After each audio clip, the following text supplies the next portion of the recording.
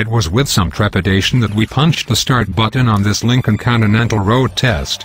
What if Lincoln revived its hallowed nameplate only because its own execs couldn't keep straight the alphabet soup of three-letter badges beginning with MK? What if this new flagship turned out to be another lightly fluffed Ford?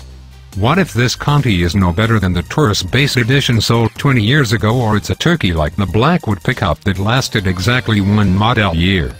Lincoln fans, especially those still pining for the town car, perk up at any mention of the Continental. While few remember that Edsel Ford's 1939 gift to automotive artistry reinterpreted two classic design features, long hood, short deck proportions and the spare tire as a fashion accessory, some surely recall the magnificent Mark II coupes that followed in 1956 and the elegant Kennedy-era Continental four-door hardtops and convertibles. On those rare occasions when Lincoln got the Continental right, it was the day's premier land yacht. Now Lincoln's game is reprising fine design, premium interiors, and exemplary performance for prosperous customers beckoned by more than a dozen important domestic makers. The U.S. is ground zero, with a few exports to China, where the Lincoln brand still commands respect.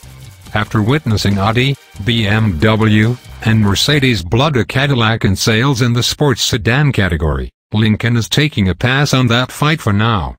Establishing exterior dimensions that are a touch grander in every direction than the Mercedes E-Class has enabled Lincoln design chief David Woodhouse to sculpt the Continental with nicely flowing lines and voluptuous proportions.